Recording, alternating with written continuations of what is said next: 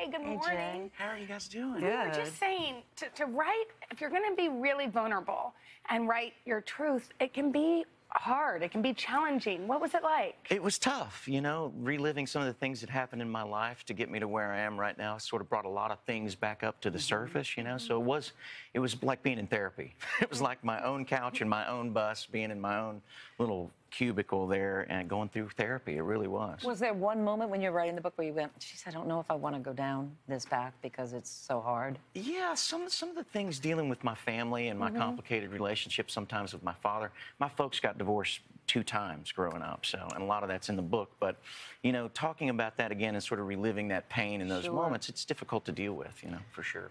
And how did how did everybody react? How was your family? How was your the band? How was Rascal Flatts? Well, my brothers in Rascal Flatts have been completely supportive, and, and I love them, and I wouldn't be here without them, you know, truthfully. So they've been great. My family's been great. My mom has been uh, awesome, and it's really a tribute in a lot of ways to her and the strong woman that she was raising us as a single mother, working two jobs, sometimes three jobs. And I just had such a really wonderful example of a woman, a strong woman to look up to in her. And with Mother's Day right around the corner, Yeah. it's really, really neat that, that I was able to do that for her and tell her story. Yeah.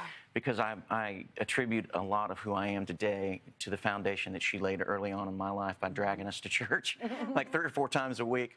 Sometimes I thought that we should just have a bed there and save the money on the gas and the time going back and forth. But, you know, I realized later on in life that she was planting seeds of faith in me that would take really, really strong roots the older I got. And I really, really leaned on it through some really tough times there in Nashville trying to make it in the music business. You, the book is really, I mean, at its core, also about hope It and is. your relationship with hope. Yeah, I- just feel like um, I find my hope in a relationship with Christ, I, and mm-hmm. and it's being a believer is not about being perfect by any means. It's simply admitting that we need help. We're not meant to go through this life alone, you know. And for me, I found the toughest times in my life to be better by having a strong relationship with Christ that I could lean upon. Mm-hmm. And I just want people to know that, you know, if you're willing to try a therapist, if you're willing to try Xanax and pills and everything, why not maybe find your answers in someone else that's higher than yourself? and faith. You know, it's so interesting because I bet people watching think like, oh, Rascal Flatts, he has, you know, Jay, he has all this star and you know fame and money.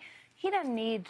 He didn't need anything, and he hasn't suffered. But you say that there have been bumpy roads, Oh, and that makes the beautiful road that much better. It really does. You know, I think that uh, a lot of times when we see entertainers, we see people in the entertainment business, actors, musicians, we see the end result of a lot of hard work and a lot of tough times.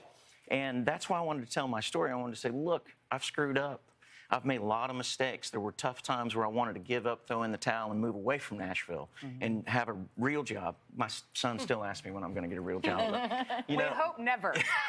well, thank you. But, you know, I, I just wanted to share my story in hopes that it would encourage someone else that's probably a lot like me, doesn't know where to get started, living in the Midwest somewhere. Yeah. And there were a lot of questions and a lot of times that I doubted myself. But I feel like um, with that foundation my mom laid early on, it helped me get over those humps even more, having that relationship than I do in my faith. yeah, this book will inspire a lot of people. Jay, thank you so much. New music coming out too in the tour, so all good. Yes. All good. Yes. All right. Touring the summer? Yes, we start May 6th, May 16th in Cincinnati. Oh, yes. yeah. We better get there. All right, to check out Jay. Jay's book, head to today.com slash shop. It's really inspirational.